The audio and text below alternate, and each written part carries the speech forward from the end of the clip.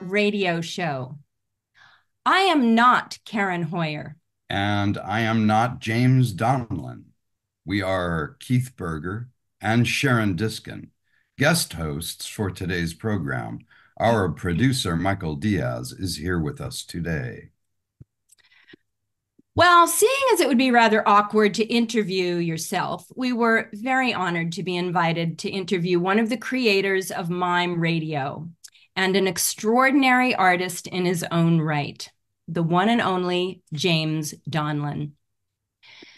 James has been a celebrated international performer, master teacher, and director of mime and physical theater since 1970. For the last 51 years, Donlon has performed his original solo programs throughout North America, Europe, and Latin America to wildly enthusiastic audiences. He's the first American mime clown to perform in the famed Teatro Dimitri of Switzerland. And the New York Times has called Donlon's work an extraordinary blend of skill and lunacy. To see a really interesting timeline of his work, please do check out his website, jamesdonlon.com. He's also been on the faculties of many acting schools, including the American Conservatory Theater, the University of North Carolina School of the Arts, the National Theater Conservatory Denver Center, the Yale School of Drama, UC Santa Barbara, UC San Diego, and the Oregon Center for the Arts. In addition, he has presented residencies with special institutions like El Teatro Campesino, Mexico City's Bellas Artes, Prague's National Academy of Performing Arts, and Dublin's Gaiety School of Acting. He was film movement coach for Oscar winners Javier Bardem, Kathy Bates, and Frances McDormand. He also created TV fight choreography for Linda Ronstadt among his former students are legendary Broadway musical star Terrence Mann and Tony Award winner Bill Irwin. And most recently, he, Karen Hoyer, and Michael Diaz have created Mime Radio, which has become an incredible archive of interviews featuring mime and physical theater performers from around the world, whose careers have spanned over five decades. In fact, we all owe him and the rest of the team a huge debt of gratitude for this invaluable document. And this interview is just the latest. So without further ado, we'd like to welcome James Donlon. But, uh, wow. That's a lot of years. Hi, Thanks Hi. a lot. That was really nice of you, Sharon, to share that. Yeah. Well, it's it's all you. Yeah. So I think, I think it is. So. I first met uh, James, uh, you, James, uh, when I was, it was in the early 70s, and I was performing street mime in Washington Square Park. And um, I was doing something, I'm not quite sure what it was, but this uh, very handsome young Irish looking guy comes in and starts performing with me. And um, at first, I was kind of alarmed because he was really good. Uh, but then I got into it, and afterward, we met up and uh, had dinner and talked about this stuff. And uh, we're talking about it still years and years later. Yeah, that's great. Yeah, actually, I remember what you were doing. You were doing the classic pull the rope and you threw it near my audience area. And I just, uh, I was in New York City studying modern dance with Alwin Nikolai, And I was right. like, how old was I? Maybe 23, 24. I think I was what I was. And the rope came and I just, as a, as a inf- inflex or instinct, I just grabbed it when you pulled on it and I came out of the audience. That's how, that's what we did. I think we just kind of played around with the rope for a bit. We yeah. did. It seemed like, as I recall, it was a pretty big audience too. Oh yeah, in those days.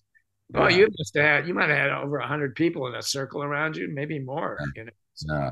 Yeah, big audience. So give us an idea of the of the time period. What year was that? Probably would I would think 1971, 1970. Yeah, it was around from yeah. I think it was 73, but somewhere around there. But um, Uh-huh. Yeah, that those were that was the golden years of busking of street performance across the country. Well, yeah. not everywhere, but especially in San Francisco and New York. Yeah, so they, yeah. there were um, people on the streets doing everything. You know, right. very yeah. special. But those days are kind of gone now in the United States, at least. You know. Alas, they have gone. You know, it's interesting. Um, I never did perform in the street. I mean, a lot of mimes and clowns and comedians and musicians did in the early parts of their career. I only did it maybe once, but I was lucky right. enough to always be in a theater, you know, right. on tour or at a university. So that my aesthetic was developed in the terms of a theater craft more than this surviving on the streets, which is a really special, you know, experience and craft. How you how you learn to do that. Yeah, it's part hustle. Yeah, it's yeah. the thing, you know. Yeah. It's part art and part hustle, you know. Yeah, it's a little bit. I don't don't take this wrong, but it's a little bit maybe like being a lounge singer, like because people yeah. are passing by and yeah. you know all kinds of characters that can wander in or out, and you have to just swing with it, and you can't go on too long. I think you have to keep. I mean, I sh- you should be the one explaining what you do, but um, no, that's okay. I've, I've yeah. seen a lot of it. Yeah. Yeah. No, you can't go on too long. That's not yeah. a good thing. But yeah. this was a t- going to Sharon's uh, point about what year, what time period. This was the early 70s. So we'd just come out of the 60s, and right. I was a college student in the late 60s. And yeah. for me, I feel lucky that I actually was a college student in the 60s because it was such a char the late 60s particularly was such a charged decade with so many world events, good and bad, happening. We had assassinations. We had, you know, our, we had uh, the Vietnam War. We had drugs. We had, you know, the moon landing. Um, it, you know, whatever week came, something new would happen, and it really stimulated your mind yeah. in terms of curiosity. And, and mime is such an art form that it is such a an art form of the people. What I mean by that, that it can, mm-hmm.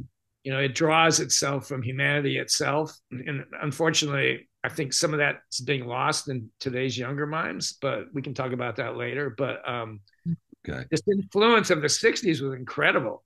You know, yeah. in terms of what your themes were. You know, you you know, we did some th- some. My partner Bob and I would do some th- very political things in the beginning, and that was normal for the thoughtful things. You know, not just illusions of magic. Talk about your partner. Who was this? This is Bob Francesconi, who was my original partner. We were college students at Humboldt State University. Wow. About you know the '60s, Okay. And it was behind the Redwood Curtain. We used to call that part of the lost north coast of California, the Redwood Curtain. And um, it was a very special place to be a college student. Right. So Bob and I were both in the theater department. He was a local guy who had returned home. He had gone his first year to Loyola in uh, L.A. and he didn't like the uh, besides watching the airplanes on the at the Howard Hughes Airport there, you know, out there by Loyola University. Yeah he uh, decided to come back to Humboldt State. So mm-hmm.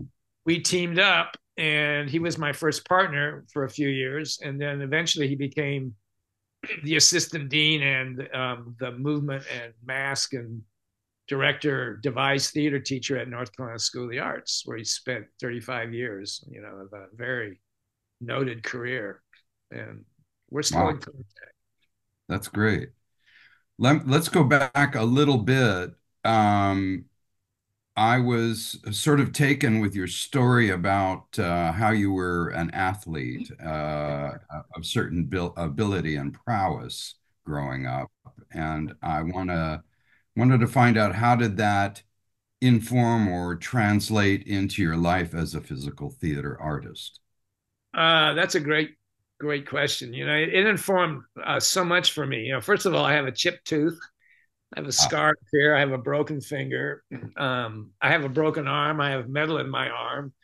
So anybody that plays, you know, organized sports on a high level, um, you know, has physical ailments and physical experiences. So mime, of course, physical theater is about the body and ideas. So um, this regimen that I was obsessed with as a youngster. I was a high school basketball player. I grew up in a small town, uh, Camarillo, which was a, just an agricultural little dot on the map close to LA. But the only popular theater at that time was theater. I mean, was uh, sports probably.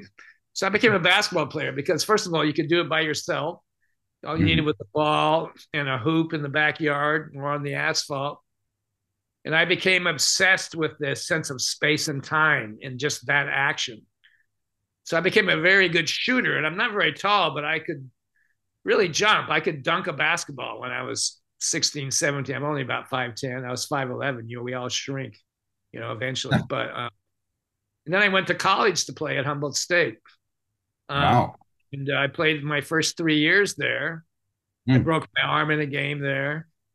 But eventually, the business of more higher level of college sports kind of got to me, and I actually stopped playing in the middle of my senior year when I was actually one of the important players on the team. I just, you might say, I quit, which was um, not so crazy at that time because it was crazy times. Vietnam was everywhere. Yeah. You know, you had to stay in school to stay out of the draft if, you know, and that, maybe that didn't save you.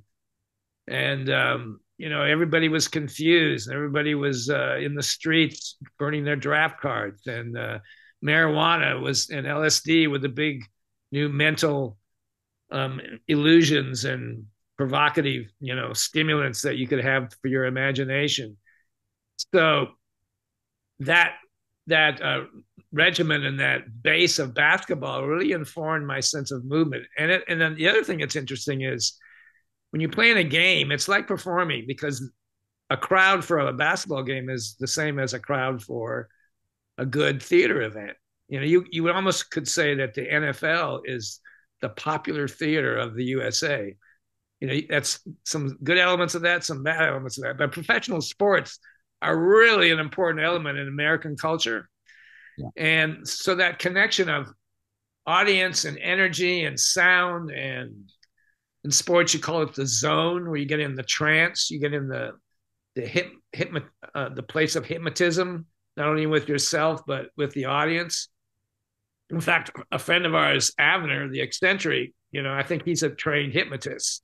So, and he's, you know, one of the world's best clowns. So this connection of the moment and the witnesses and the journey of the imagination gets into this place that you can't really you know this spontaneous moment you can't know what's going to happen next you have a strategy like a a mind piece or a play you know you have the script that's your strategy in sports you have your your your your your plays your schemes but you always depart from that and whoever is good in theater and whoever is good in sports is able to find that freedom within between the lines so the sports besides giving me a strong body and a athletic body really helped me mentally too to approach the stage in in many ways that I could talk about forever. If you get me started on this this well, athletic thing, because I, I am still obsessed by basketball, even though I don't play anymore. Well, so. Uh, so let's still uh, be on those early years. Uh, yeah. What was your approach to mime? You know, creating mime in those days, and how would you say it has evolved over over time? That's very interesting. Um, well, first of all, for me, mime has always been an athletic event. It's an aggressive event, not in terms of beating somebody or dominating somebody, but an athletic aggressive event in attacking space. So Francesconi and I used to perform a lot in high school gymnasiums, as we all did early in the days, right? Yeah. I remember one experience in Sacramento, one of our first performances, maybe 1971. We had seven assemblies in a row in the gymnasium with the kids, you know, coming in and out, right? For mm-hmm. each period and we didn't get paid much, but I remember it was a cathartic experience because, first of all, the gymnasium was a very friendly place for me, but we would attack space. So we had an advantage. Uh, he was an athlete too. He played football, I think, in baseball, but I don't think he did. So we would, this idea of, you know, uh, uh, being aggressive in space came very easy to us, and we enjoyed it. We enjoyed the sweat, okay, and the, you know, you felt drained um, when you were finished. So um, this this uh, um, here remind me again. What was the first question? I'm starting to get a field here a little bit. What was it? You said so what? You're answering the first question by telling me, hey, your uh, how did your approach to mime begin? Uh-huh. How has it evolved? Yeah, so it's very aggressive, athletic. You know, eventually I learned backflips and gymnastics on stage, and I could juggle five elements. You know, mm-hmm. later on we might talk about what's the difference between a clown and a, a, theater clown and a mime. I think they're the same. We, we'll talk about that later, perhaps. But um, so there was all these physical feats, but yet the '60s had informed the idea of of um, story and uh, politics and social issues. So there was mm-hmm. we were always complimented on our ideas. You know, we had our anti-war piece, we had our anti-pollution piece, we had our absurd pieces. Um, so some people have heard me say this before. For, so for me, the the life of the physical theater performer is is like what's contained in an hourglass with the sand, the two chambers. And when you're young, the physical um, is in the bottom, right? All the sand is in the bottom, and the and the mental, which is the top, is empty, right? Yeah. So as life begins, you turn the glass hourglass over or the life glass over, and the physical starts to drain and drain and drain. So that as you go through the years, the physical diminishes. But what's happening magically, the the mental is filling up, is filling up, is filling up. So my feeling is as you go through the years, your your uh, mental approach and your sense of economy of gesture and ideas becomes much more acute, and you don't have to do as many physical things. You know, eventually, what do we do? We just throw it over our shoulder, and the sand truck comes, and you go off to the next dimension, right? But um, so for myself, I've had to, and I'm really feeling it now. I'm in my 70s now, and I still perform. Some people say I'm performing better than ever, which is very interesting to me. Sometimes I have to be reminded, like I know the experience I had in your front room a year or two ago, where you said, slow down. I was showing you a piece, an old piece, and some new ones. And you said, James, slow down. Even in the old piece, slow down, slow down. So as you go through the years, you become this kind of robotic, automatic, everything's so familiar. And maybe your mind is going off into another imaginary place and you forget the craft sometimes of the nuts and bolts. So, um, you know, so it's always good to return to this this sense of concentration that at, in time that starts to slip because you're so used to doing what you're doing. You know, it becomes routine, and you never want it to be routine. You want it to be grounded. So, um, th- those are some of the challenges, but it's it's an interesting journey. I think that happens with all art all the artists. It might be harder for a ballet dancer, someone you know who has this very high, or a trapeze artist, where almost life and death depends on, you know, how, what your physical you know craft is. But mime is such an interesting art form because it does combine physicality and the mind. So I mm-hmm. think through time it can become richer, you know, by all means. Yeah. Um, and I want to know now how modern dance fit fit into your early years. Um, because you you did study modern dance and it even shows in some of your early work, which which we'll get to in a minute. But if you could just talk about that a little bit. Well, I think um, we talked about the sports experience, which gave you this sense of wild abandon, you know, like aggressive attack, you know, in all dimensions. Like basketball, particularly, is up and it's down and it's over and it's around and it's you know there's so many elements of physicality happening there. You know a basketball fake is really a mime illusion right? If you fake and your intentions are i'm going to do this it's really mime and the person the player defending you buys that they go there and then you go there. I mean it's the same process. So the modern dance it's a very interesting story. So bob and i were touring. We were in uh, in um, uh, missouri at at a college performing, and there was a faculty member there on the dance. Was at Washington University, which is a kind of an Ivy League school in uh, in St. Louis.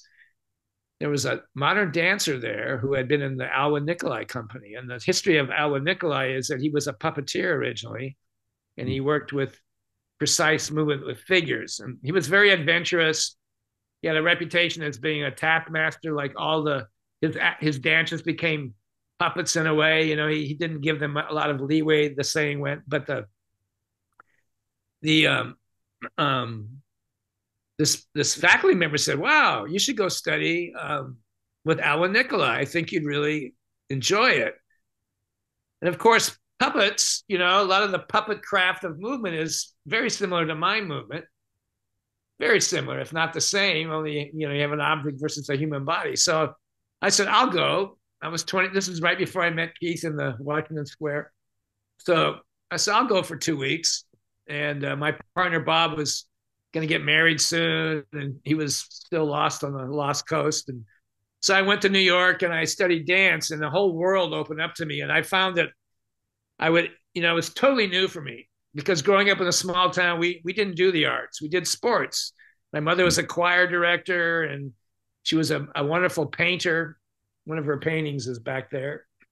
Um, so um, this sense of uh, artistic movement was very alien to me, but I was pretty good at it because I would sort of rely on my basketball skills and these mind skills. We haven't talked yet about how I, you know, was introduced to that, but um, so the the modern dance um, is an incredible form. You know, supposedly uh, American pioneers invented contemporary dance, like Isadora Duncan and Martha Graham, and the, these these wonderful, you know, internationally known artists from the early part of the 20th century, who were known throughout the world for this new form of dance that was not ballet, and it, you know, it wasn't folklorico. It was it was a form of movement that sometimes in the older days told stories, but very athletic there were no rules in terms of you know you had to be on point blah blah blah. So that experience in modern dance which i i continued to study when i was a faculty member at the school of the arts in north carolina which had a you know world class dance department i would continue to take classes even as a professional mind. But this sense of dance gave me a knowledge about the inner knowledge of my body that I couldn't get through sports. I, even now in sports, you know, people stretch and there's all this these experts that dance has always had, you know, in terms of movement. So it gave me another um, channel to shape my my physical theater work through time and space.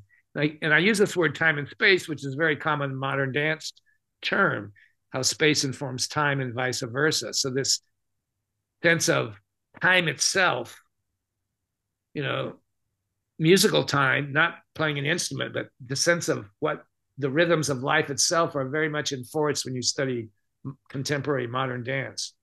So that really upped the the um, quality of my work, I think. And so for you know, for my whole life, I I do a whole regimen of modern dance stretches, which I'm kind of lazy at now. There comes a point where we might talk about that later. But uh, but that that's where that came from. And then of course the, the early work was there were some dance moves in there that fit with the mime. So I, I, I had been called a, a mime dancer occasionally. I remember the remember the old magazine Dance Magazine. It was a very special publication.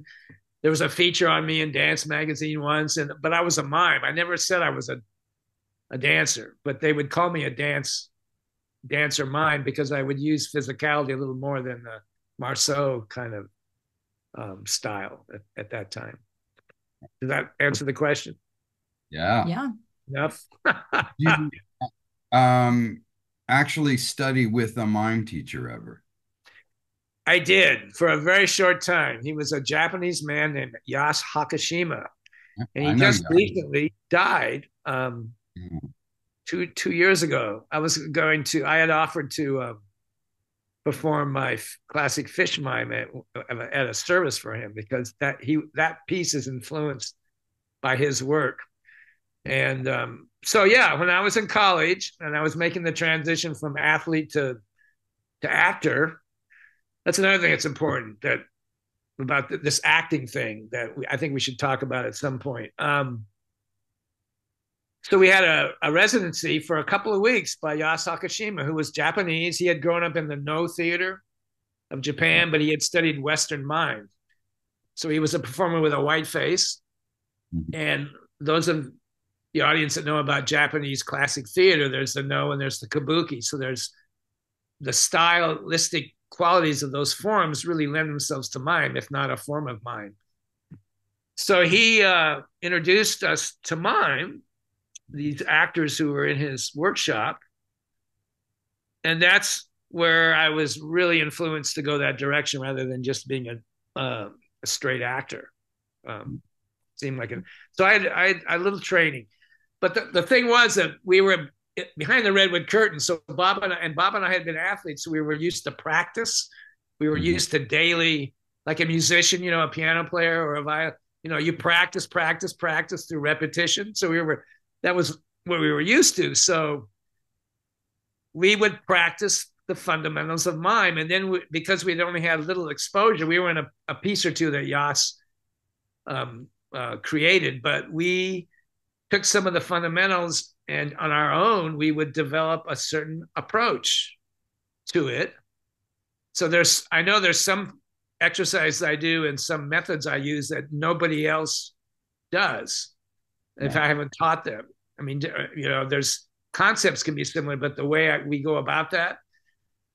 So um, this regimen um, took us into the these creative places and we developed the uh, menagerie mime theater style you know like like you talk about the american mime theater well we had our menagerie mime theater style. And uh, that was our technique and then all these influences that come in then uh, pretty soon i mean there's this whole period of clown mm-hmm. i was mm-hmm. involved in which informed the mime even more you know but we'll get to that most likely so well, it's very interesting. Um, I'd like to focus on your fish piece. Okay. um, which there is beautiful video of you performing it in what year? On it's on your website. Yeah, that's 19. That's about the time I met Keith. That's okay. well, maybe a, a couple years later. That might be 75, 76 when that was recorded. I think actually when that was recorded was probably 1977 or 78. Well, but it was created. It was created about 1973 or two. Yeah, yeah, it's it's really a stunning piece, and um, good for you for videoing it, finding somebody to video in those years because so much was lost. You know, I mean, video technology wasn't great in those years, but right you know, there was so much good work that just evaporated, um, as live theater is supposed to do. It's supposed to evaporate, but um, but having a video documentation, especially of mime pieces, because I find mime really does lend itself to the two dimensional um, medium. It does. It, it, it's beautiful. Yeah, yeah. I mean, it has not, not been explored yet. I don't think it's been explored yet, really. I mean, yeah, I we, think the pandemic's kind of kicked it into gear a little for some yeah. of us. Now, there, nothing compares to being there live, seeing a live performance, but this is really a beautiful video. So I, I do recommend everybody check it out on your website. Um, and in it, there's a, just, I think, a perfect illustration of where modern dance can meet mime because you have real narrative elements in the piece, in the story, which keeps the viewer, you know, interested in a narrative way, um, wanting to see what's going to happen next. But there's some beautiful modern dance movement that um, it does not, it never looks um, uh, contrived or, you know, um, you know, superfluous. It it they really inform each other beautifully in that piece. So i would like for to hear from you about how you how you devised that piece. And it's very interesting to hear that um, your your your one and only mime teacher um, was the one who who really gave you the idea to marry those two. Yeah. Dis- well first of all I grew up as a kid in Ventura County, which is north of LA, and I lived at the beach until I was four in a cottage. But my father was a man of the sea. So I spent hours on the ocean. We had boats. He built boats. He built marinas. I built docks in high school with a hammer and nail at Channel Islands Marina, which is uh, north of LA. So I was, uh, he was gone all the time fishing. And we would go out on these fishing trips to the offshore islands, the Channel Islands. And the, you know, all the men. I was the only boy usually of you know. I started going out there probably when I was seven, six, seven, eight. You know, I was always surrounded by the good old boys. You know, like drinking their beer, catching their fish, and I was always looking at the landscape. So you say there's no landscape on the ocean, but there is. The landscape is like the desert. You know, people say, well, what's in the desert? Well, you have to look and you have to recognize the space and you have to look at detail and you have to look at the the inviting like i love the high desert and i love the ocean because there's this inviting sense of the horizon like what's out there? And if you keep looking you'll find amazing things that fill your imagination this emptiness. So i kept looking at that and i look i kept looking at the fish with all the blood and the beautiful animals and the scales and the slipperiness and the the the stories of the monsters of the deep. You know, we'd see whales, and you you just like, whoa, your imagination would go crazy. Porpoises. So I had that experience, which informed my my texture for this a mime like fish. And then I have the political point of view. Like I kept thinking to myself, well, how do the fish feel? And most people will go, what? Fish don't have feelings well, they're animals, right? Here, this is the 60s again, right? So you're going like, well, how do they feel?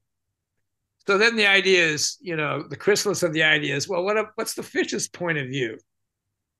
And then you get into one of the great, you know, stories of our time is uh, Hemingway's The Old Man and the Sea. You know, this battle, the the metaphor of the of the marlin, you know, what that represents. Mm-hmm. So then you get that struggle of nature versus human yeah. Which is very powerful right? I've always wanted to adapt oh man the scene to a mime play actually you know to flesh it out even more in a particular way that where i think i and my friends could do in a very interesting way you know? So um so there's that dynamic. And then of course modern dance is about space. Yeah? It's about landscapes and geography on stage. Literal and not so all these ingredients went into the into the pool, into the pot, and the soup was uh, uh, amazing soup was made. So it felt natural to me to do a piece like that. Also, being from the North Coast, you know, all we have there is redwood, amazing, majestic redwood giants, foggy coastlines, tempestuous sea. So this sense of nature has always been in my soul, and, and of course, you know, we all the three of us grew up in California, right? Well, you grew up in Arizona, but say it's the West, right? So the West is about space and sky and horizon, right? And even though you, you grew up in LA like Keith did, you still feel the ocean, you still feel the the mountains around you, and you still feel the sky. It's a different kind of city. It's not a high rise city, right? So um I mean that so to, to me the fish mime is a meditation. You know at one time in my life i felt i'm going to do this every day in slow motion. So it's mime it becomes mime tai chi. Yeah. Mm. so it is combining eye hand coordination of handling imaginary objects of physical um, uh, uh, you know um, immersement in deep movement. And it's hard to do. Some i still do that piece and you know, this idea of the hourglass is really at work because there's some moves I can't do anymore that are in that video. Yeah. But I've adapted to it in a certain way. And some people have told me that have seen both me over the last 50 years, they say it's better now. So whatever that means. So something's going on with the brain um, there. So yeah, it's a meditation. It's a, I mean, I haven't really stuck to that doing it every day, but every time I want to freshen up or you know loosen up i'll do that piece and it kind of wakes me up for a month it's jarring mentally and physically it wakes me up and i go oh this is what mime is about but yet as you two told me slow down okay like find the moments um which is you know a thing for life, right? Smell the roses, you know. We so same thing here. Yeah. Yeah. So, um, but here's one other point about that piece. Yeah. I don't know if that can be done on the street. So getting back to this idea of the craft of mime, that's what's always attracted me is that's a theater art. Mm-hmm. It's an act, it's an acting craft. You know, acting, you have to be an actor first. You can't just be a mover. You have to be know how to act. There has to be inner life. Right. If you're not a good actor, you'll never be a good mime. You just won't be. Right. So this fish mime is a salute to the like the, the flow of life itself on the theater in the, on the stage i think. It's about taking that theater space with a particular simple lighting nothing around you but you're in a controlled environment where the energy is all going into that one place. You know there's no distractions. And that's what makes it blossom and i think if you're outside that energy will would be lost somewhat which well, is an interesting and let me just add one thing. There's also the silence. You know you don't use music in that piece. Um, i do um, now though it's just interesting. Yeah i mean now it's a little different now. I mean audiences are so they so expect to have some sort of audio component that right. you have to you have to be in just the right environment to get away with with true silence. But but I mean, but I think that it really um, informs that piece in the way that you were just describing and making it a sort of meditation because when there's a whole audience witnessing one single performer on an empty stage performing in silence, it becomes a spiritual experience. It's church like.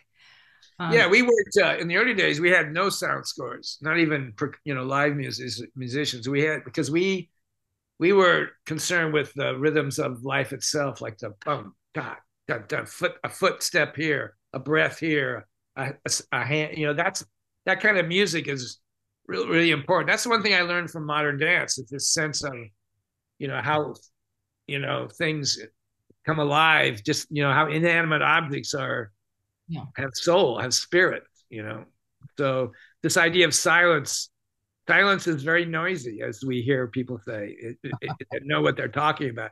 It's very noisy, you know, if you do it the right way. Right. When on the spectrum of narrative to abstraction, where would you say most of your work falls? It's a good question. Uh, you know, during this the same time period, there's another video that's on YouTube. And uh, no, it's not on YouTube. It's called Scribbles, where I took a just garab- in Spanish it's garabatos, which means scribbles, you know. So I did a piece. It was a very popular piece. It might have been ahead of its time in terms of the mime doing this. It was it was more like a modern dance piece. Right. I should put some of these videos. I should put some of this together. But there's it's sound effects, real sound, yeah. movement, and it's just me doing my own scribbles. I end up eating the curtain at one point. It's really outrageous. It's crazy, but people loved it athletically, I can't really do it anymore. I could do a piece probably similar to that. So that I would say that was the abstract realm. But then I've gone all the way to to very narrative pieces. I mean, I think depends on my age, my mood, and my my my uh compagnie, my my friends, you know, who I'm working with, my company, you know, what where I fall. But I, will do it. It, all of it's interesting to me.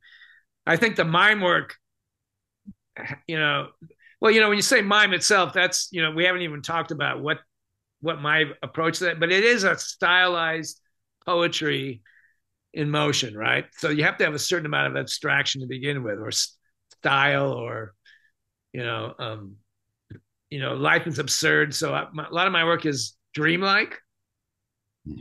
you know. So I have, I just wrote a bunch of short stories, really short, page and a half of dreams I actually have and ones I created. What I try, I think I'm going to make a. In fact, Keith, you might want to be part of this. And Sharon, it's I'm going to mount these things with with text and movement and blah blah blah. But I don't know. To answer your question, I don't know where I fall in that realm. I mean, I've written plays. I've I play yeah. music now. I mean, I don't know. My mind is just everywhere. You know, so I can't answer that question. You know, that's for others to answer. So let's let's move to the audience component. Sure. Uh, how important is the audience in your work? do you feed off of the audience's energy? Yeah, I think it's very important. I mean, for me, if you don't have an audience, first of all, you're doing therapy. Okay. If you don't have the witnesses, the ritual. Hmm. I mean, we can have private rituals, but the the public ritual of a culture is present in the art of theater or, or any artwork, really, but especially in theater. You know, going back to the beginning of time, people did rituals of theater became theater like. In fact, you know, we all know the history of theater and music. They came out together as, you know, very important cultural events that became more of an art form at some point. I had a student once that said, you know, she was from Africa. She said, we don't have the word art in our culture because life itself is art. Mm.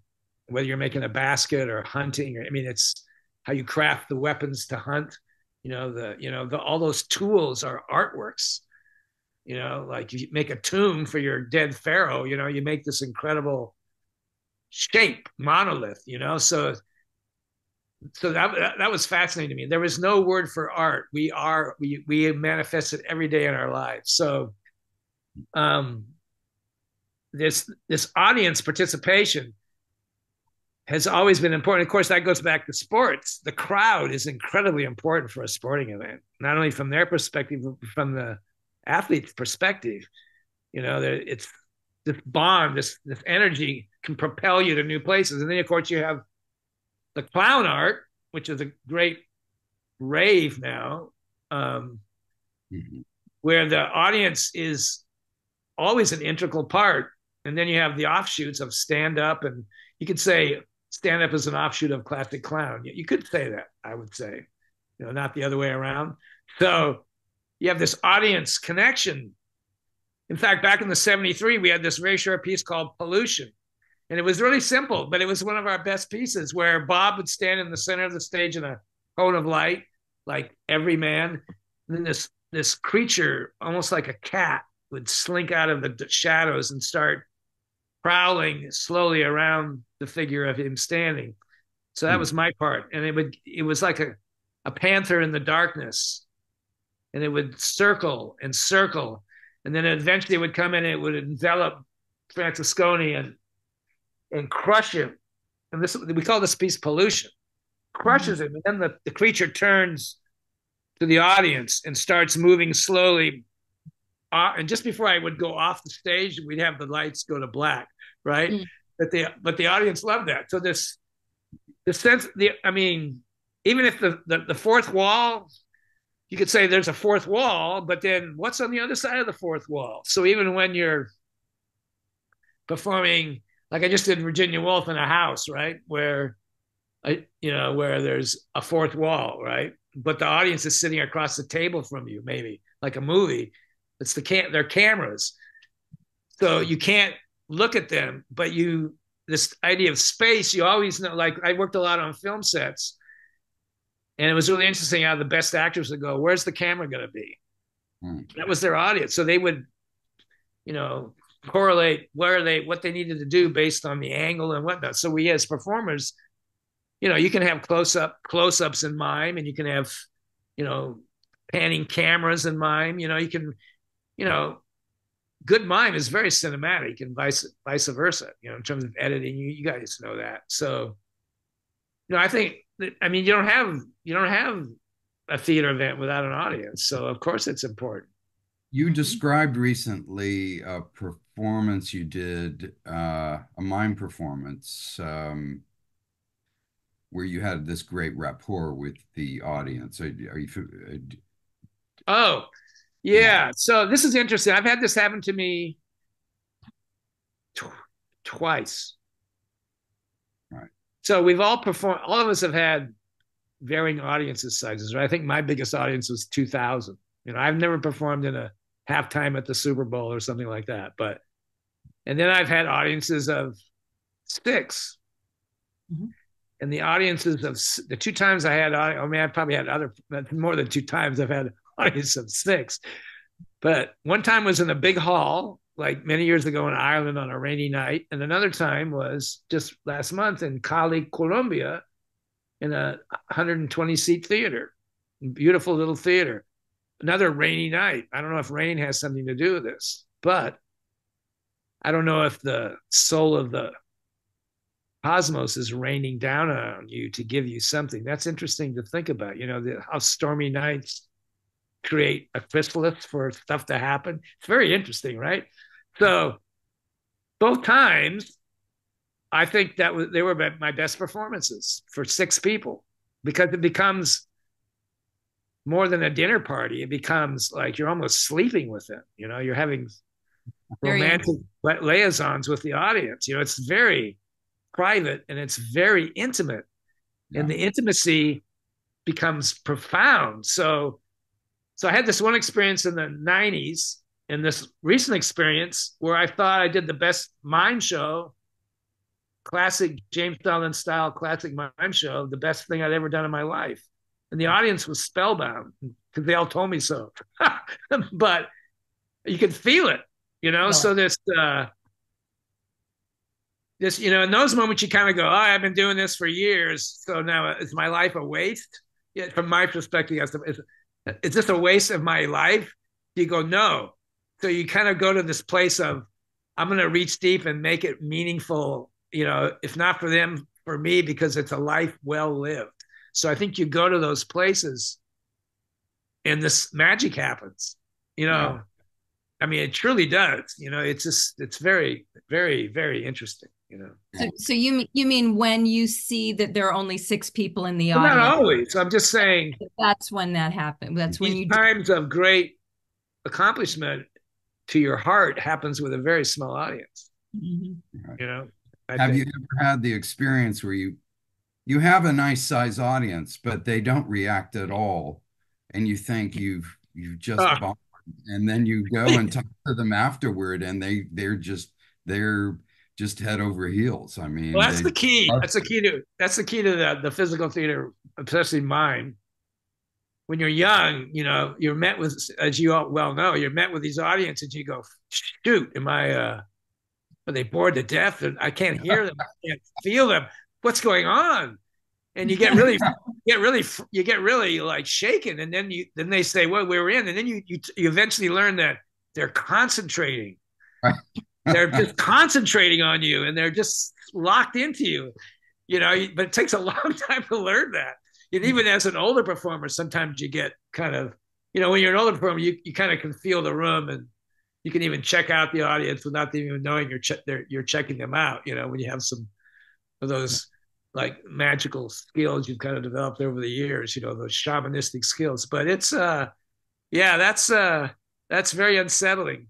And I think one of the reasons young performers maybe don't go the, the mime way is it's the audiences dissect you like you know you really are naked you know heart and body. They just right. dissect you if you're doing something good. They just go into you which yeah. can be good and can be a little awkward at times. Yeah yeah let's move into another aspect uh, a, a pretty major aspect oh uh-oh. Oh no.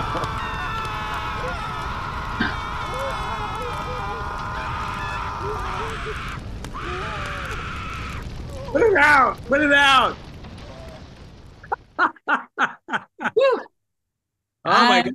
I gotta take my shirt off. I know. In fact, I'm wearing my uh, my son-in-law's. He's a fireman. I'm wearing his. Uh, I think it says Oxnard Fire Department right there. Oh. All right. Yeah. Okay. So fire. We need um, him. All right. So we move into our rapid fire. Uh-oh. So I think you know how this works, James. I know how it works. But you don't know the words that are going to be coming your way in a very rapid pace. So for those of you that don't know, um, we're going to read a series of single words, and James is going to interpret those words. You can use a gesture, you can use facial expressions, you can use your whole body. Um, I think it should be though physical and yeah, I'll make it. I'm in a small space here. I, we'll see how physical it gets, but that's not a limitation. This is the right. stage. Right Yes. Absolutely. Are you ready? You ready? Okay. Yeah, let me, uh, go for it. Face. Face.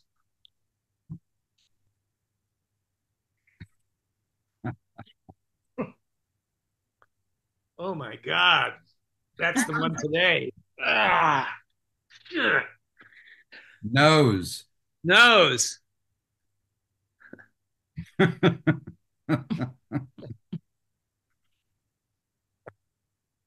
Whoops. Ah, whoops. Banana. Banana. Uh, okay.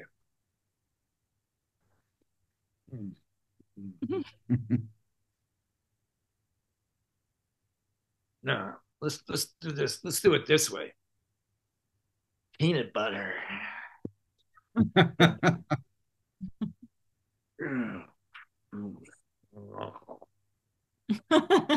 Monkey. Monkey.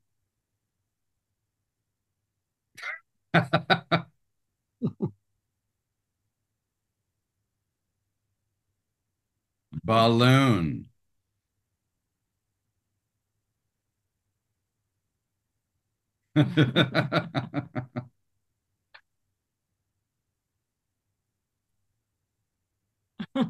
Curmudgeon. Curmudgeon. My name is James Donovan. My wife tells me I've got to like turn over a new leaf. Plod hopper. Log hopper? Plod hopper. Plod hopper. Ho, ho, ho, ho. Whoa. Ho, ho. Ha, ha. Yeah. Whoa. Dig a hole. Allergy.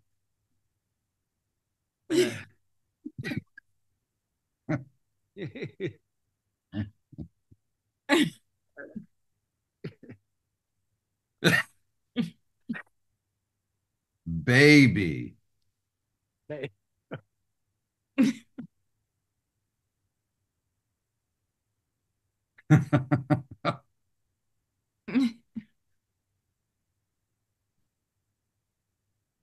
Teenager.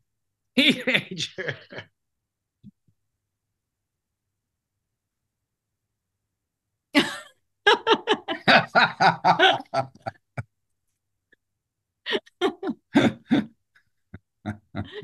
Very good. Great. Gimme. Gimme? Gimme. Gimme? Like gimme? Yeah. Gimme. Gimme. gimme. Gimme. Gimme. Come over here, gimme. Gimme. What are you gonna give me? Gimme, gimme, gimme, gimme, gimme. Oh, gimme, gimme, gimme, gimme. It's a gimme. Bulbous. Bulbous.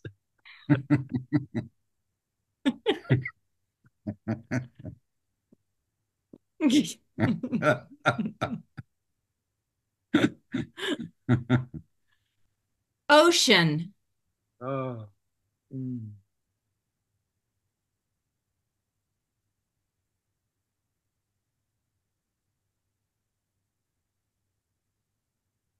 Basketball. I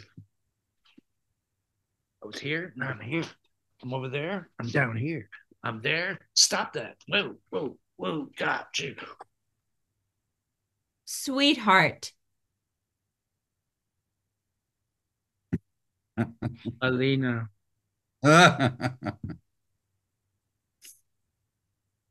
Actor.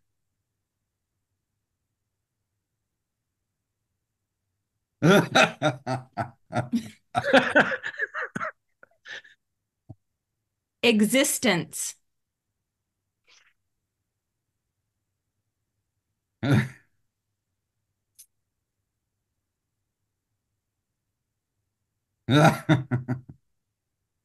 Audience.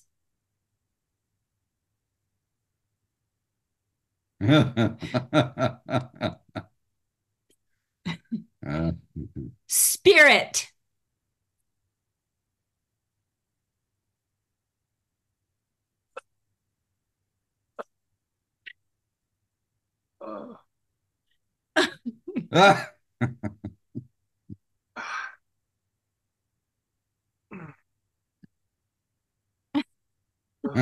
Ah.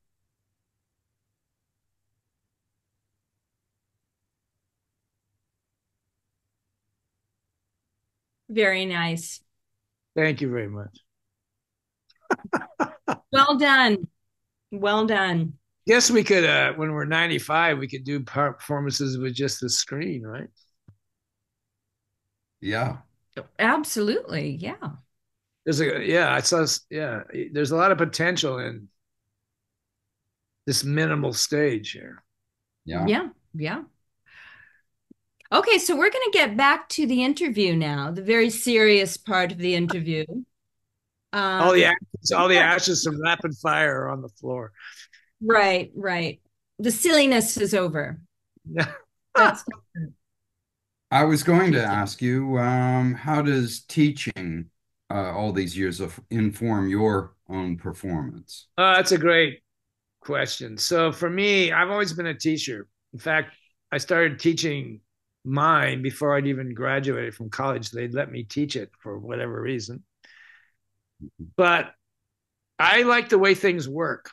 I, I like to. I'm, I'm not a mechanic. I don't really like looking under the hood. When I grew up in the 50s, you know, you weren't a cool guy unless you could look under the hood, right? But that never interested me. What what interests me is that could interest me, but I my father used to tell me you always were looking at planes, boats, and trains when I was a kid. Hmm. And, and those of you that know me well know that I have a fascination for model trains. And mm. I have a I've have, have several worlds that I've created around that theme. So I've always I like the way things work. I'm really interested in the development of skills and and ideas so uh, as a basketball player, I enjoyed the practices more than the games. Mm-hmm. Way more. I just mm-hmm. love the mm-hmm. sense of trial and error and the the small accomplishments and the light bulbs going off and the uh, whoa, I just I just did that or wow, you just did that. So um and then one thing I discovered really quickly is that well, first of all, let me say my, my motto about how to be a good teacher is three simple things teach what you know, teach with honesty, and teach with passion. Mm-hmm. Don't, you don't have to do anything more than that.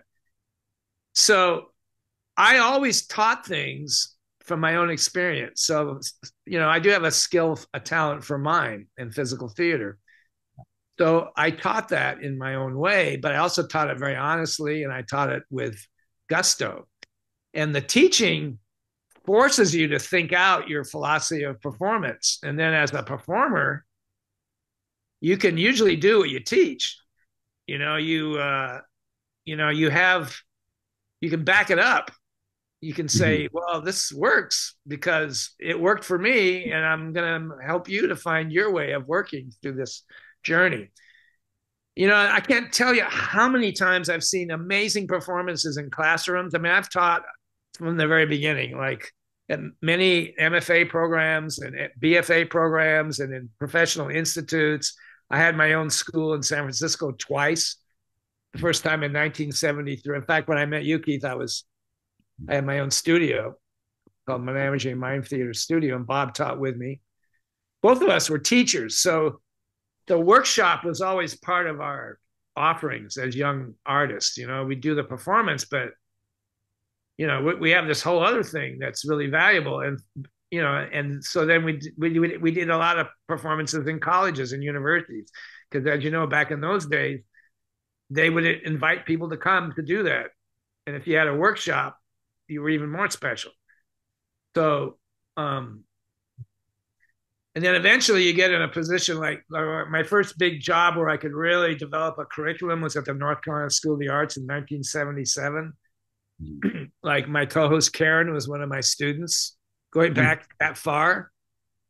So these associations, these are these um, relationships you made with people back then are still living on. There's several people I'm still in contact with, and even making art from those times. But this idea of developing a program of two years of really finding the mechanics of a process is exciting to me. in fact, they offered me a, a state supported mime school in 1979 at the School of the Arts because the School of the Arts is, was the first state uh, arts conservatory in the country, you know, like a Juilliard, but it's North Carolina government supports it. It was part of the University of North Carolina system. So, but I said no because I had, you know, I was young and I wanted to go see the world. But I often wonder what if I had stayed at age mm. 30, mm. you know, and and what what would have happened because this country really, besides the American Mime Theater, mm-hmm. I'm not sure there has been another mime school of any note. You know, Dell'Arte is close, but it's kind of moving more toward clown and other things. But I think the American Mime Theater may be the only school in the USA that I mean, somebody's going to call me wrong. I mean, I know Jeff Goldston had his school and people like that, but okay. Richmond Shepard. I don't know if Richmond Shepard ever had a school, but it's interesting. Artists like Decroux and Marceau came to the USA, Decroux particularly, to open a school, and then they all didn't work out. Marceau wanted to open one in Santa Barbara. Decroux was in New York for a while. Then he went back to Paris because whatever the climate wasn't right. But so this, uh, and then Marceau says, I love this quote. He says, "An art dies for the lack of schools." Mm. So I think it's true. Like, like we're kind of in a dry spell of my, the mime art in the USA right now because there is a lack of widespread education. I mean, good education, and we're training. Not that you have to follow a, you know, like a, a guru. I don't think that's necessarily right, but this uh, idea of handing down information is very important to me. How do you hand down information? You know, that's how we learned, but it was handed to us by somebody, our peers. And so we, we're in that position now to do that. So I'll always teach. I mean, I may, may teach less, you know, then we get into this idea of what's old fashioned. Like mime is one of those art forms that goes in circles, cycles. But I noticed there's a lot of announcements for workshops. Like clown is the rage now. It's the mm-hmm. rage. But I'll tell you, one of the reasons mime isn't so popular is the craft involved, the amount of work you have to put in to learn the stuff it's like being a circus artist in a way, but with the mind included, with you know, with the acting craft included. So, what I find is um, it, you can learn certain tricks and elements, but to sustain a whole show doing it is extremely hard. It's another level. Yeah. That's right. And a lot of people don't either don't want to invest the time or they just haven't been exposed to the doorway to go that direction. You know, you're it's right. I mean, everything in a sense. I mean, it, mime is interesting because, as Sharon said, you can see quick images, especially on in videos that are stunning. You know, mm-hmm. and then the whole hip hop robotics movement was influenced by my, street mimes. So they yeah. took these Im- these quick images and you know like robert or uh, um, michael jackson with his moonwalk that's a mime technique that yeah. robert shields says he introduced him to mm-hmm. so they take this image and it suddenly boom and then they make it an art form in itself but it gets can only go in my estimation if the story's not there or the inner life you can only go so far and then it becomes just just lounge music after a while you've seen one you've seen them all you know um yeah. Right. Well, and there's not a there's not a library of mime plays. Um, an actor can oh. put on a play uh, that somebody else has written. We don't do that in the mime world. We write our own material. Um, and so that that you know brings in a whole you know different level of of difficulty and effort. Because the story really has to be good. Um yeah, like these uh these small one of the reasons mime is a is a dirty word in some quarters is in this country is because people bought into the images and right. then people indulge the that performers indulge the images and then we say well that's all there is Yeah. And then like anything, okay, that's all there is. How, how often how often can you see this one thing? Right. And then you have copycats who yeah. don't do it as well. And exactly. you know, I think that's really what kind of put the kibosh on street street mime theater is that, you know, there were some, let's just say, you know, mediocre street mimes that thought, oh, I can just do this, that, and the other thing and put a hat out and get some money. Yeah, and it gets uh it gets aggressive. Like when you're in a theater, they come to you because they want to come to you. When you're yeah. a street mime, you have to be aggressive. And so you're gonna annoy some people. Well, it's a fine line. a lot of people have been annoyed. In, uh, it's a fine line because you have to be aggressive right. on the one hand, but on the other hand, seductive.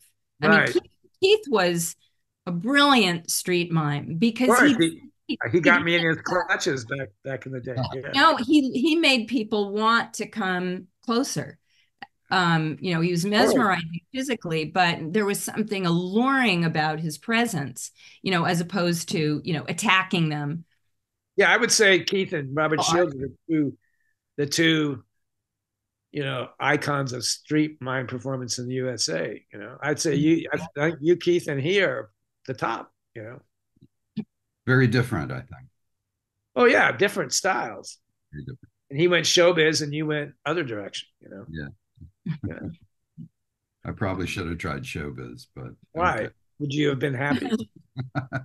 What are we looking for? Money? Are we looking for money? What are we yeah. That's a good question.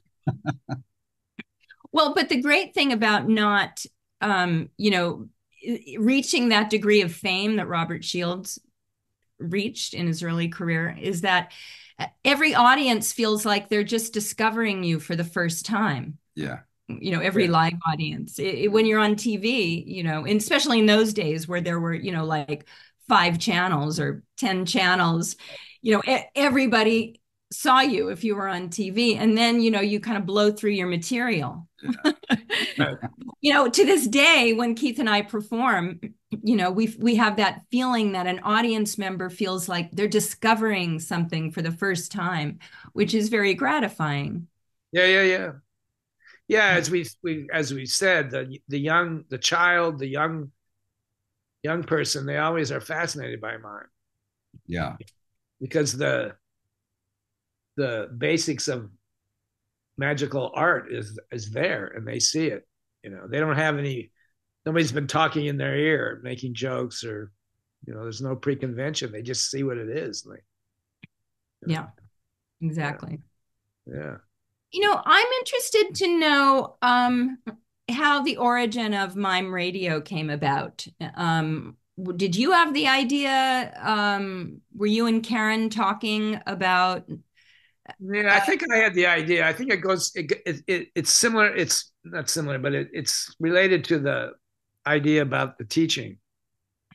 You know, I I'm always interested in knowledge, and I thought, and having been alive during the golden years of mime performance, I mean, we really those 70s, 80s were probably the gold. I mean, even people like Marceau started in 47 but then he didn't really become known until later, you know, approaching the 60s. But there, you know, it's having lived through that, and I've seen some amazing artists that, like you say, Sharon, they're not recorded. There, not that many people have seen them, and I just think it's a kind of a duty of history to. I mean, I was also a history major in college. I after I quit sports, I became a I flunked chemistry, so I couldn't be a zoology major anymore to go beat the Russians with their Sputnik. So I became a history major and a theater major.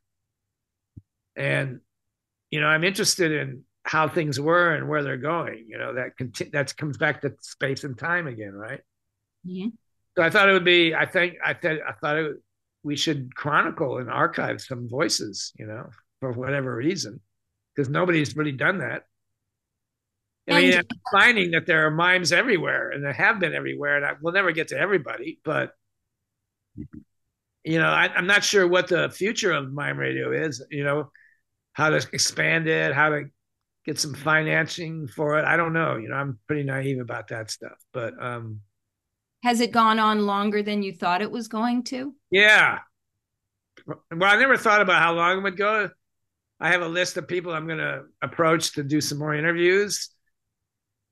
I'm a little tired right now with it, you know, but there are interesting artists everywhere. Yeah. Fast artists.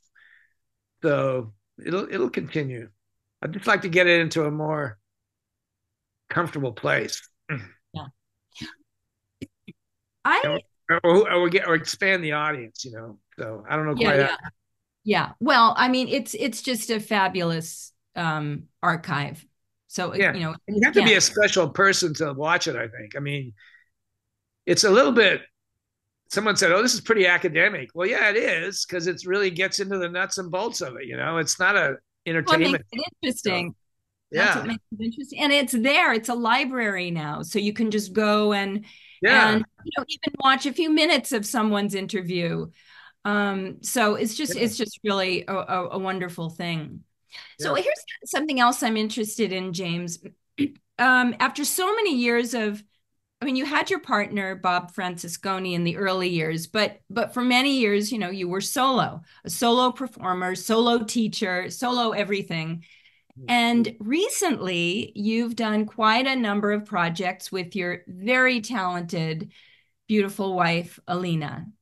And I, so you've joined the ranks of married couples who work together in their art form. So, how has that been? Well, first of all, I have to say, I've always worked with groups too. Like, yeah. even from the beginning, I had a mime company. There always, you know, I've always enjoyed working with people. So I haven't been a soloist all the time. I'm always doing something with people. And I've had various companies. And actually, with Alina, that's not my first husband wife team. My second wife, uh, Tonya, she, who was a big time modern dancer from New York and all the big companies. She's a, she was a professor at UC Santa Barbara for a long time after that. She and I performed together, um, trying to mix mime and dance, modern dance together. Mm-hmm. So, um, well, how do I, how do we work? How does a husband and wife work together? Like, I really, you know, I really appreciate what you two said about you have some rules, you have some, like a contract almost. I, I we don't have that, and I wish we we would, but um, it's uh, in some ways, I don't I don't know if that's unique. I mean, in some ways, that's the dream of an artist's life is to have a partner that you can share art with. So that maybe I've been lucky enough to find that connection. Mm-hmm. Not everybody can or continue that connection. Like you mm-hmm. guys been working. How long you guys been working together? Working together as as artists. I can't keep track. Since 1985. Yeah, I mean, we're talking what, like, was that 35, 40 years almost? So that's amazing. So I think, look at Paul Newman and what's his wife's name, the famous actress? And Woodward. I mean, there's other examples of this this kind of relationship, but I think I think it's very special. And it's very difficult, of course, because I think you do need to set boundaries and yeah. how, like, like I said, I just performed a, a, version of Virginia Woolf with my wife Alina, George and Martha, and that was definitely affecting our relationship. you know, out, outside. And so consider the material. That's yeah. Right. So, um, yeah. I, I don't I, I it's still a mystery to me. I mean, I don't know if I can explain the process of working with your significant other, but it's uh yeah. It's it's a slice of life. It is like having a good meal um through the week and some of the meals are not as good as some of the others but that's sort of like what life's like anyway when you're married right so you never run out of anything to talk about that's for sure that's for sure yeah. Uh, let me talk about this book for a minute. Yes, okay. I was just going to ask if you wanted to share anything you're working on. Yeah, so this is a new publication that nobody's seen yet. It's called Musings on Mime. and it's this uh, person here is a young person from Ireland who was one of my students on Zoom during the pandemic. And as you as you look at this drawing on the cover, there's some uh, hands coming out of eye sockets and eyes in the palm. So this book is uh,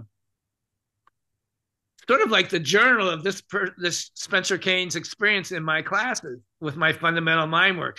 So this image is fundamental to the way I think about mind. The eyes are hands, meaning if I just need to look at something and I'm touching it, and the hands are eyes. You know, they are they do the same thing eyes do. The same nervous system. So in this book are all these very cool drawings and with the comments from Spencer that capsulized my teaching. And then I have some comments here and there, like almost like sticky. Here's a good example. This is called this section is called templates. So th- this is a like a sticky with my comments that kind of reference what the work's about. So throughout my talking about teaching throughout my life, I've always been looking for a means to communicate what I do in a in a in a book form, right? And I don't I hate textbooks. I was asked to write one like years ago when I was 30 years old, but I, I started and then I, it was going to be published, and I just said, "What am I? Why am I doing this?" Because what I'm saying now, I, I'll know more years down the line, which is true. So, but this, I always thought that mine should be is a graphic novel, right? So there's images, like a cartoon strip, right? So there's images, but there's adult material. And so this is kind of getting to that point of well, here's something that is mine, but it's not a text, it's not a how-to book. It's more of a art book. Mm-hmm. That's kind of the way it's advertised.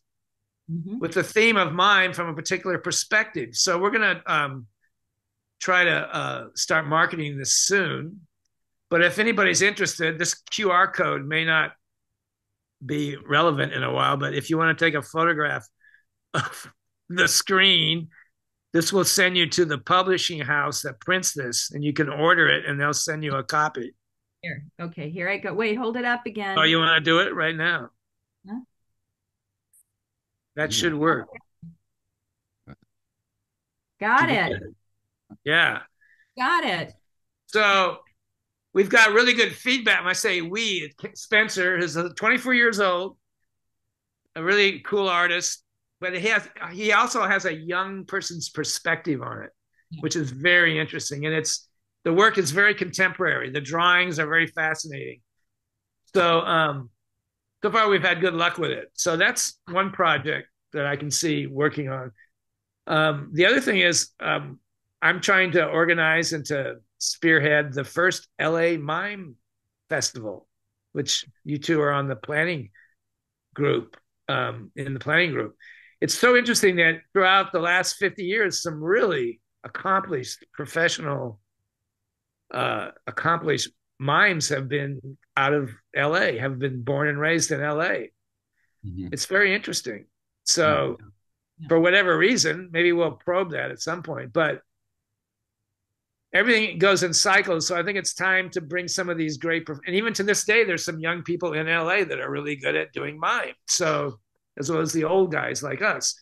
So putting together a festival in a theater space, the theater art, so people can sample the kaleidoscope of mime and and try to see that it's not what you think it is. You know, I think uh, one person mentioned it's not really what you think it is. It's this and can be this. And maybe that's how the art form can blossom and have another season, so to speak, you know? Yeah, absolutely. Yeah. Well, yeah, we're excited about it. Yeah. Yeah. It's uh it'll be interesting. They just had a physical theater festival in New York, New York City, a new one, but I think a lot of that was clown and I want to differentiate between let's talk about that for a minute if we have time. Yeah. So I I have a period of in my life where I was a clown, uh, a theater clown. And one of my mentors was Dimitri, a famous Swiss clown who died recently. And he was uh, generous enough, he and his wife, to set up tours for me in the 70s in Europe when I was very young. So he, and through other uh, artists like Tibor Turba, who many people don't know from Czech, Czech Republic, you know, the, the clown craft is, you know, to be a good mime, you have to be a good clown and vice versa. And I think, unfortunately, in the clown world today, a lot of the craft or the the concepts of mime are not being utilized to make the work play better and to make it more theatrical in terms of, You know, in other words, a good clown is an amazing actor. The same with the mime.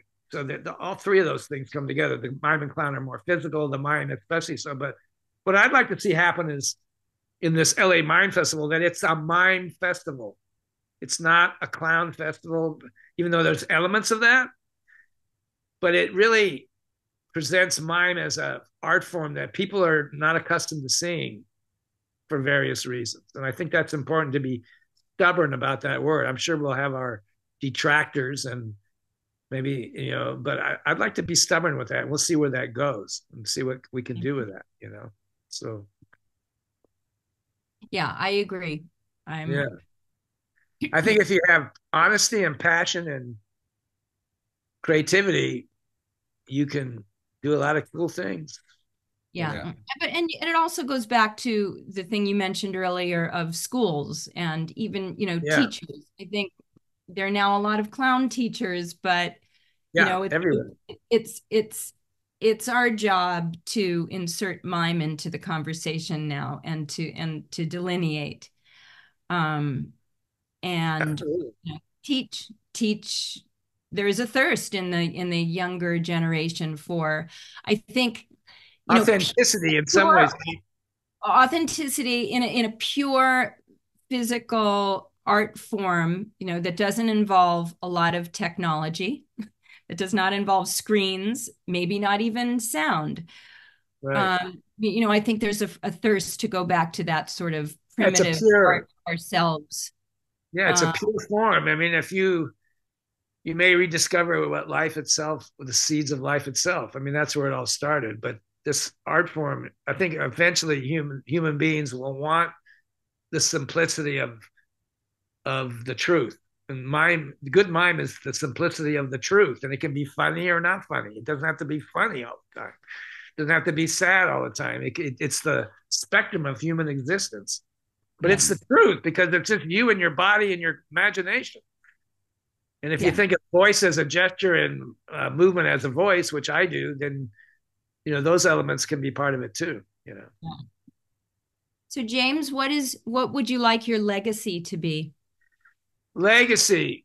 Interesting question. I think usa culture is like hung up on legacy in some ways. I mean having been a history major i mean history in a way is about recording legacies.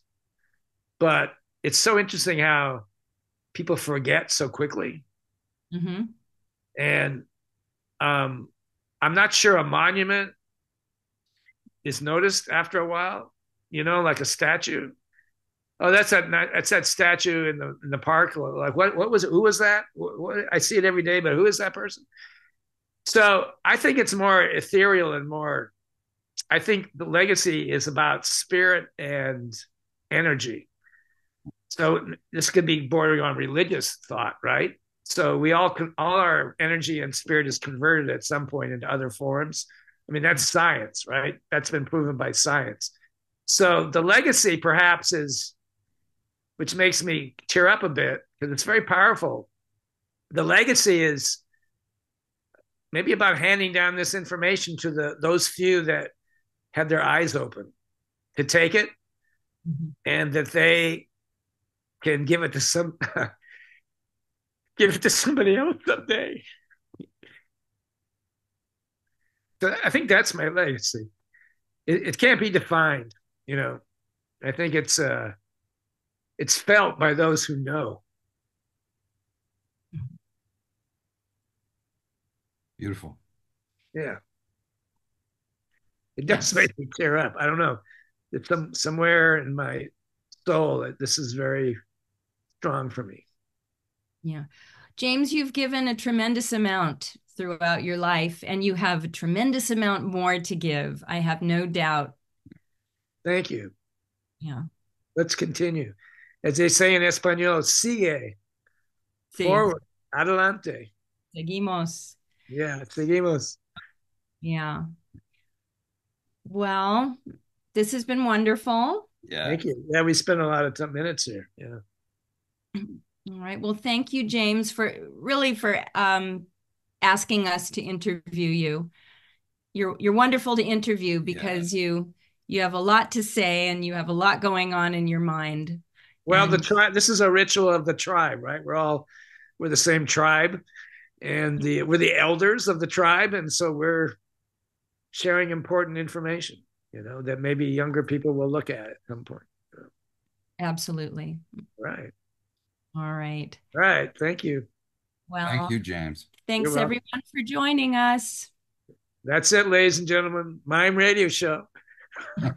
Over and out.